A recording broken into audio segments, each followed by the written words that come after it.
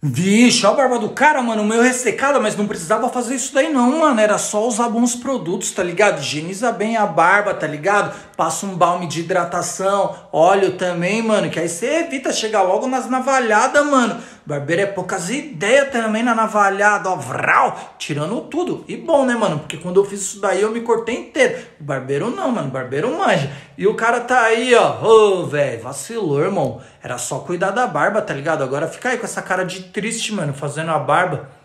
Não, mano. Dava para salvar, velho. Dava para salvar a barba, tá ligado? Dois, três dias aí usando o balme direitinho, fazendo uma rotina legal de cuidados com a barba, os fios já iam mudar. Aí era só dar aquela paradinha para tirar as pontas duplas, mano. Igualar os fios quebradiços aí, ó.